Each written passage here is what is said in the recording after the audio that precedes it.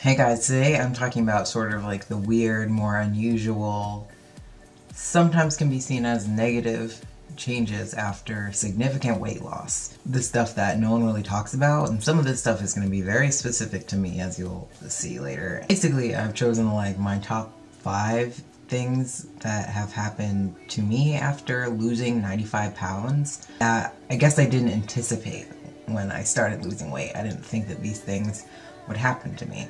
First thing is, I am often very cold. That's super weird for me because I was a furnace. I still am a lot of the time, but it's like now I get to actually experience cold. I feel like in the past, when I weighed like 250 pounds, I could probably get away with going through winter without a coat on, you know? I was just always super, super hot. Alright, number two, I lost a shoe size. They always talk about you losing like clothing sizes and I think that I probably, I've never sat down and thought about it, but I think that I lost somewhere between four and eight dress sizes. Um, I'll have to actually look look into that. I never knew what size I was wearing when I was my biggest because I would like leave my pants open and then just layer on top because they didn't button. But yeah, after I lost a lot of weight, I solidly went down a whole shoe size and it's not like the length of my foot changed or anything. It was like my foot before was pretty wide and then like round, like it was swollen, like my feet were just fat basically. So I had to go a size up in shoes than what I actually wear in order for my feet to fit in them. I also had a really hard time wearing boots that like laced all the way up because I couldn't um, like the laces were never long enough to go up my calves because my calves were too big. All right, number three is loose skin. Lots of people talk about loose skin. Sometimes people are lucky enough to avoid it or they lose weight slow enough that it doesn't happen, but sometimes it's just the amount of weight that you lose, there's no avoiding it. So I do have loose skin on my body. I have kind of a lot on my back, a little bit on my legs,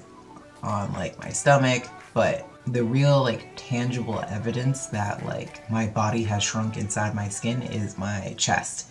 So I had top surgery probably like 30 pounds ago. I can literally see where my chest has like sunken down. So I don't know if I'm gonna be able to show this. Okay, so here's my chest. Um, you can see when I turn, this is like the line of my pectoral muscle and so it comes down through this way, comes across like my nipple there, into the center. So, how I know that my chest has moved is that my nipple used to be like right here.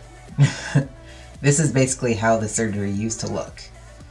And now the skin is just down a lot farther. So yeah, that's gonna be one of those things that's specific to me as having had top surgery. All right, number four is hair loss.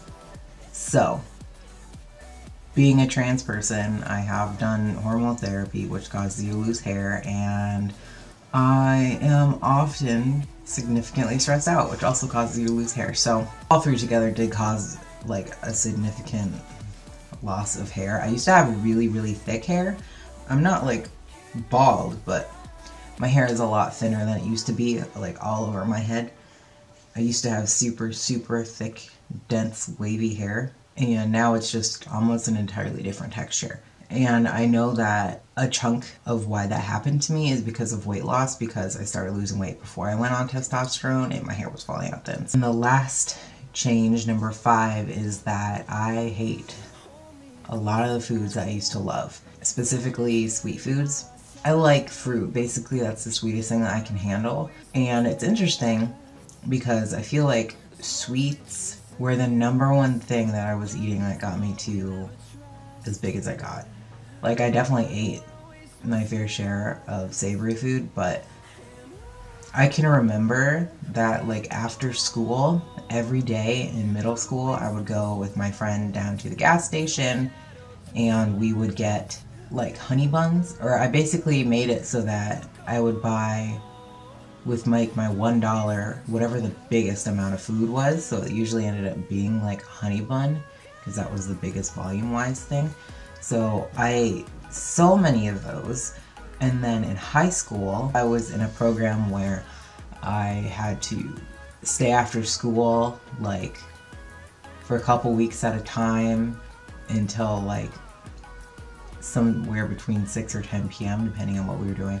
So in between school and coming back to stay through the night, I would go down to a different gas station and I would buy Pop Tarts and a tub of frosting, and I use the Pop Tarts as like a spoon to eat the frosting. And I love that. I love that so much, but now thinking about doing that today in this day and age makes you want to vomit. But yeah, I just do not like sweet things anymore. I vastly prefer savory things, and if I'm making some sort of dessert, it's made out of fruit, it's only as sweet as the fruit is, you know?